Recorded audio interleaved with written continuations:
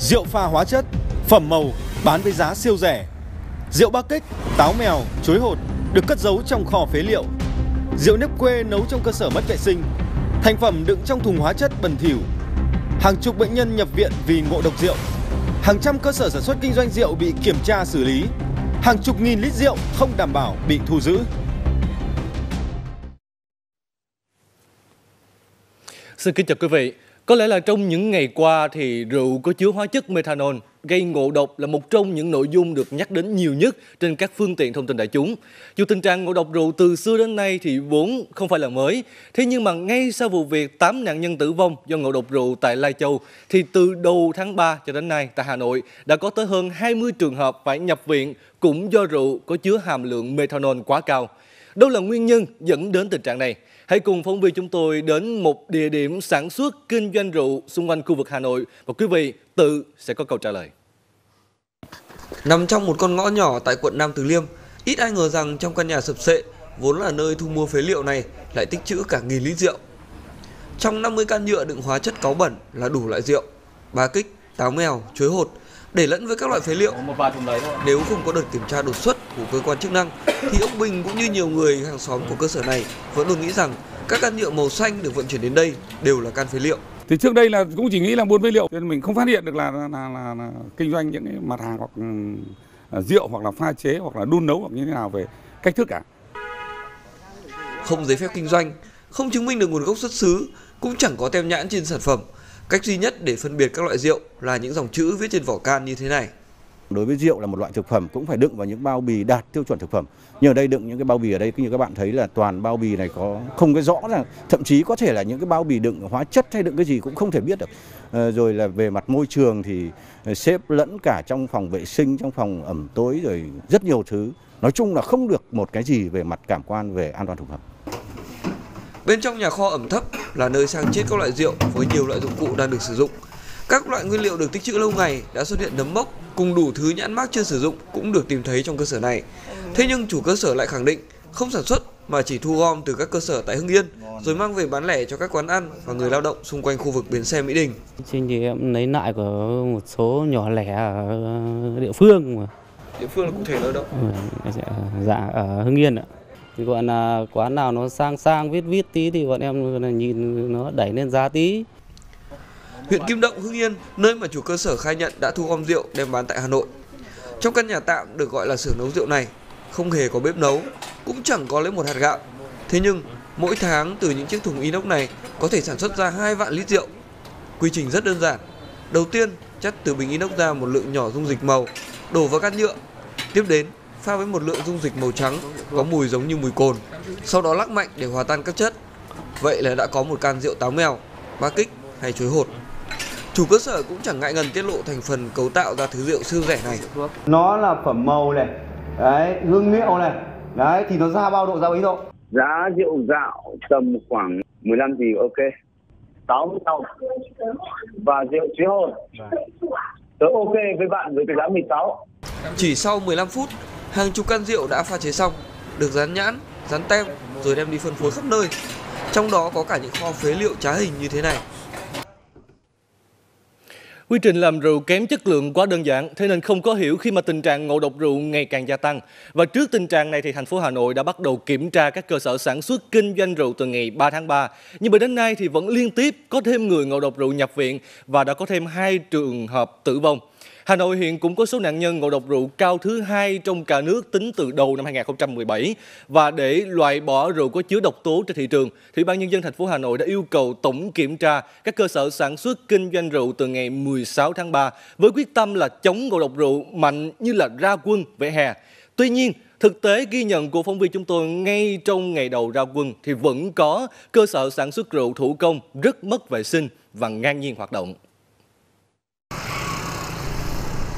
Quốc lộ 21B, địa phận xã Bình Minh, huyện Thanh Oai, Hà Nội. Quán rượu quê này được nhiều người biết đến bởi đủ loại rượu nếp được quảng cáo là đảm bảo chất lượng. Trong vai một người khách đến mua hàng, chủ quán nhanh chóng giới thiệu tất cả đều là rượu nhà nấu bằng các loại gạo ngon và vì thế giá rượu cũng không hề rẻ. Rượu nhà nấu, nấu nhưng mà nó nhiều loại gạo. Gạo ngon thì rượu đắt. Từ gạo nếp đổ lên nếp ngon. Trong căn nhà sập sệ, ẩm thấp được sử dụng làm xưởng nấu rượu Các loại gạo nếp được quảng cáo là ngon đã được nấu chín, đổ ngay trên nền đất bẩn thỉu. Chẳng có gì che đậy, gạo đã lên men được để ngay sát lối đi lại, thu hút đủ loại ruồi nhặng. Bên cạnh chiếc nồi nấu rượu cũ kỹ là những thùng dung dịch đã lên men, được để sẵn cho mẻ rượu tiếp theo. Rượu thành phẩm được cho vào những chiếc thùng phi nhựa, vốn là thùng được sử dụng để đựng hóa chất. Dù cơ sở tạm bỡ, không đảm bảo những quy định tối thiểu về vệ sinh an toàn thực phẩm, cũng chẳng được cấp phép để sản xuất rượu. Thế nhưng chủ cơ sở vẫn khẳng định là rượu an toàn. Cái này nguyên uống không mà đã bổ rồi, không cần phải ngâm mà thơm rồi. Chẳng có bất cứ cơ quan nào kiểm tra chất lượng, cũng không có nhãn mác. Những can rượu như thế này vẫn được bán ngay trong ngày các cơ quan chức năng ra quân tổng kiểm tra các cơ sở sản xuất rượu trên địa bàn thành phố Hà Nội. Thậm chí, ngay trong những cửa hàng tạp hóa, quán ăn, rượu không nhãn mác, không rõ nguồn gốc xuất xứ cũng vẫn có thể mua bán dễ dàng. Đây là đây, đây là cần nấu? Ra, ở đây nấu. Nhà mình tự nấu lấy à? Không, em nấu mà. À đây à?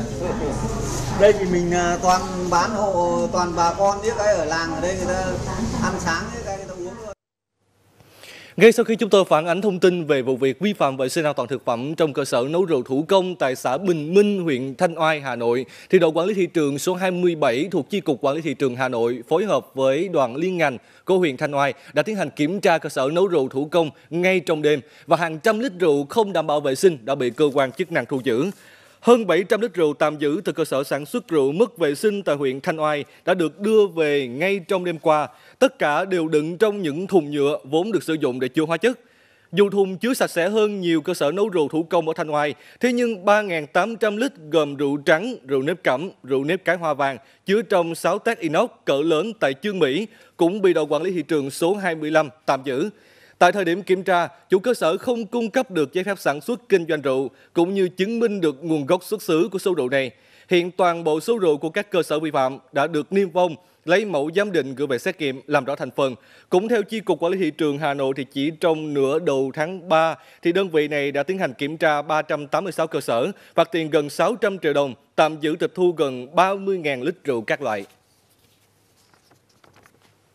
Chỉ trong vòng 2 tuần đã có tới hơn 20 trường hợp phải nhập viện vì uống rượu có chứa methanol. Vậy methanol có ảnh hưởng như thế nào đến sức khỏe của chúng ta? Hãy cùng chúng tôi đến với khoa chống độc Bệnh viện Bạch Mai, nơi đang điều trị cho các bệnh nhân ngộ độc rượu để tìm hiểu.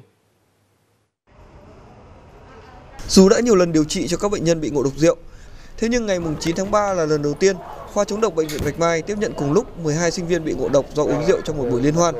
Tất cả đều có biểu hiện đau đầu, nôn ra máu, mắt nhìn không rõ, nhiều trường hợp hôn mê. Kết quả xét nghiệm cho thấy nồng độ methanol trong máu của các bệnh nhân cao hơn mức cho phép nhiều lần. Cũng tham gia buổi tiệc, anh Hồ Văn Bọa may mắn hơn các bạn vì chỉ uống một chút rượu. Thế nhưng tận mắt chứng kiến cơ thể của người bệnh bị tác động bởi chất methanol đã khiến cho anh không còn dám sử dụng rượu. Em cũng uống tầm 8 9 chén, em uống được một tí thì khó uống có như rượu bình thường thì được nhưng với lại mấy bạn thì thấy cũng hơi say. Có một bạn sáng em thấy mắt to hai bên kiểu to hơn bình thường ấy, kiểu trợn ra nhưng một người thấy uể oải kiểu mệt kiểu đấy. Chỉ hơn một lít rượu trắng có chứa chất methanol nhưng cũng đủ để gây ra các tác hại như suy thận, các vấn đề về tim mạch và tuần hoàn, rối loạn thị giác, gây hại cho thần kinh và não bộ. Thời gian ngộ độc càng lâu thì nguy cơ mất thị giác, mất khả năng tư duy và ảnh hưởng đến nội tạng càng cao. Dù liên tục được lọc máu để thải độc, thế nhưng vẫn có những bệnh nhân hôn mê sâu.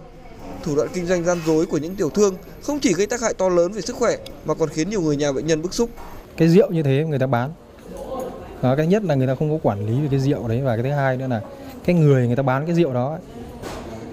có khả năng là người ta biết những cái rượu như thế nhưng mà người ta vẫn bất chấp người ta bán thì cái này là rất là nguy hiểm nguy hiểm cho cả cộng đồng ngay sau khi xảy ra sự việc, cơ quan công an đã quyết định khởi tố vụ án, đồng thời kiểm tra cửa hàng tạp hóa số 17 ngõ 259 Yên Hòa, nơi bán loại rượu gây ngộ độc cho các sinh viên và phát hiện có 2 lít rượu trắng không rõ nguồn gốc.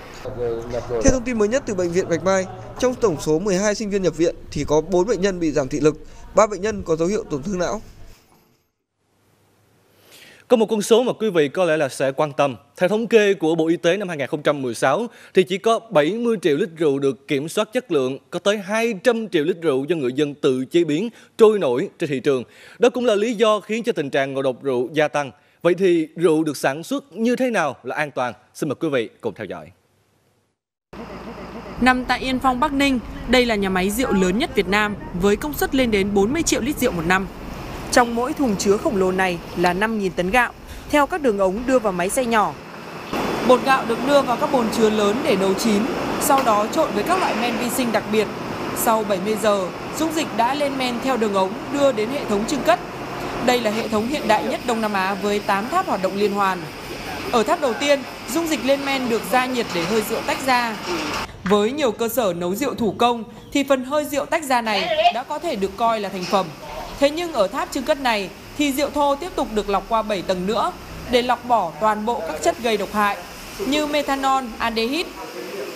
Dù được giám sát tự động bằng thiết bị điện tử, thế nhưng các điểm chiết xuất để kiểm tra như thế này cũng rất quan trọng để đảm bảo loại bỏ hoàn toàn độc tố. Đây là tất cả những cái điểm kiểm soát những cái lưu lượng chúng tôi rút ra khỏi đấy. Chúng tôi tính toán làm sao cho cái lượng methanol và các cái tạp chất đấy rút ra ở cái lượng, lượng được nhiều nhất. Sau khi loại bỏ hoàn toàn các chất độc hại, rượu nguyên liệu có nồng độ lên đến 96% được đưa vào hệ thống máy pha chế. Nước tinh khiết đã qua xử lý sẽ được trộn với rượu theo tỷ lệ nhất định để tạo ra các loại rượu có nồng độ thấp hơn. Rượu thành phẩm sau 3 tháng được ủ trong các bình chứa sẽ được đưa đến dây chuyền đóng can. Vỏ can được rửa sạch, chạy qua các cảm biến điện tử để phát hiện lỗi, sau đó được bơm rượu vào đầy can và đóng nắp. Toàn bộ quy trình đều diễn ra hoàn toàn tự động để loại bỏ những sai sót. Thế nhưng vẫn có những bộ phận giám sát bằng mắt để loại bỏ những sản phẩm lỗi, dù chỉ là lượng rượu trong can vơi hơn quy định vài mm như chiếc can này. Kiểm tra bụi này, tem này, nút này, nhãn này, uh, lỗi in này, uh, ở trong nó có những cái gì thì bọn em sẽ bỏ ra. Bỏ can vào thùng là công đoạn duy nhất được công nhân thực hiện bằng tay trong toàn bộ dây chuyền này. Thế nhưng những thùng rượu này vẫn chưa đủ điều kiện để đưa ra thị trường. Những can rượu ngẫu nhiên sẽ được lấy mẫu để cho vào máy kiểm tra. Hai loại độc tố thường xuất hiện trong rượu là methanol và aldehyde phải nhỏ hơn hàng chục lần so với tiêu chuẩn quy định tại Việt Nam. Không phát hiện được là cũng không có. Thì theo cái quy chuẩn 63/2010 của Bộ Bộ Y tế thì uh, cho phép là hàm lượng methanol là dưới 100 mg trên lít. Đây chúng tôi đang quy định là dưới 30 30 mg trên lít. Theo thống kê của Hiệp hội Bia rượu nước giải khát Việt Nam thì mỗi năm cả nước tiêu thụ khoảng 320 triệu lít rượu, trung bình mỗi người sử dụng khoảng 4 lít rượu. Thế nhưng chỉ có 1 phần 5 trong số đó là rượu được sản xuất theo tiêu chuẩn an toàn như dây chuyền của công ty cổ phần cồn rượu Hà Nội. Nguyên liệu đầu vào đầu ra được kiểm soát chặt chẽ, thậm chí là hàm lượng methanol còn thấp hơn tiêu chuẩn cho phép. Tuy nhiên, nhiều nhà sản xuất cũng vẫn khuyến cáo là người tiêu dùng không nên sử dụng quá nhiều rượu bia gây ảnh hưởng đến sức khỏe, chứ chưa nói đến việc sử dụng rượu trôi nổi trên thị trường và uống một cách vô tội vạ. Hy vọng là qua chương trình này thì quý vị sẽ quan tâm nhiều hơn đến sức khỏe của mình bằng cách chọn lựa cho mình những loại rượu có đầy đủ nhãn mát, nguồn gốc xuất xứ và đã được kiểm tra chặt chẽ. Bên cạnh đó thì cũng hãy dùng loại thức uống này một cách hợp lý. Đến đây thì chúng tôi cũng xin được kết thúc chương trình. Cảm ơn quý vị đã quan tâm theo dõi.